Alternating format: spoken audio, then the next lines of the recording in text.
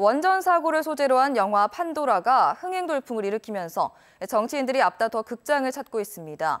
문재인 전 더불어민주당 대표도 영화 관람 뒤 관련 입장을 밝혔는데 영화 흥행이 원전 정책에 대한 변화로 이어질지 주목됩니다. 주우진 기자입니다.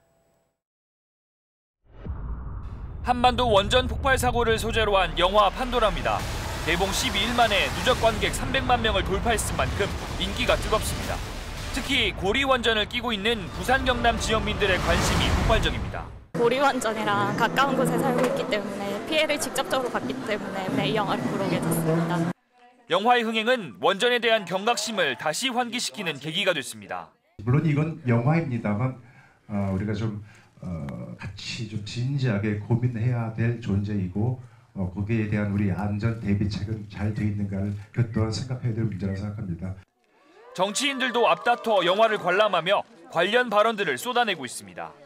원전 정책이 내년 대선의 주요 이슈로 부상할 기세이기 때문입니다. 문재인 전 더불어민주당 대표도 오늘 극장을 찾아 탈핵을 강조했습니다. 부산 시민들은 머리맡에다가 폭탄 하나 내다 놓고 사는 것과 같은 거예요. 비록 그 확률이 주변 반불의 일밖에 안 된다 하더라도 그렇게라도 사고 발생 가능성이 있다 그러면 우리가 막아야 되는 거 아닙니까? 현재 전국적으로는 원전 6기가 추가로 건설되고 있고 이 가운데 2기는 부산 인근에 지어지고 있습니다. 영화의 성공적 흥행과 함께 영화가 키운 경각심이 어떤 파장을 불러올지 관심이 모아지고 있습니다. KEN의 조진입니다.